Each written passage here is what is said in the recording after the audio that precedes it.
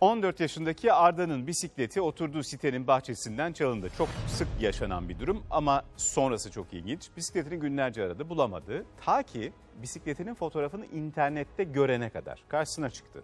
Hemen polisi aradı. Sonra da onlarla birlikte ilanın verildiği adrese gitti. İşte sonrası.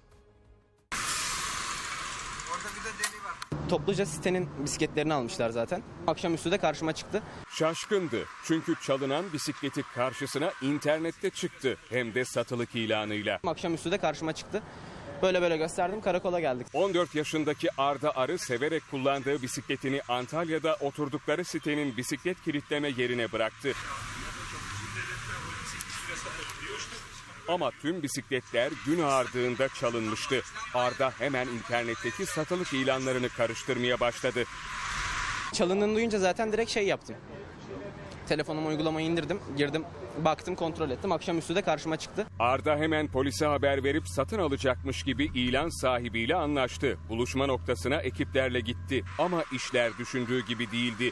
Bisikletini çaldığını zannettiği kişi o bisikleti bir pazar yerinden satın almıştı. 850 TL'ye aldım. Şu anda adam 1000 TL'ye koymuş. Sahibi çıktıysa ne mutlu bana. Arda bisikletine kavuştu. Polis ise çaldığı bisikleti satan hırsızın peşinde.